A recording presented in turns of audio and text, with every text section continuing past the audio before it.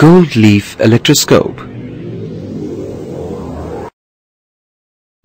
Gold leaf electroscope is a very sensitive device used to detect the charge on a body.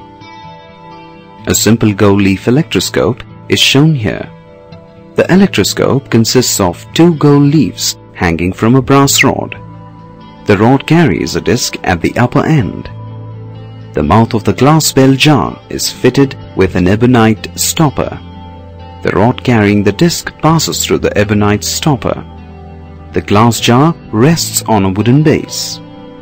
Two strips of tin foils are fixed to the inside of the glass jar and run from the level of the gold leaf down to the wooden base.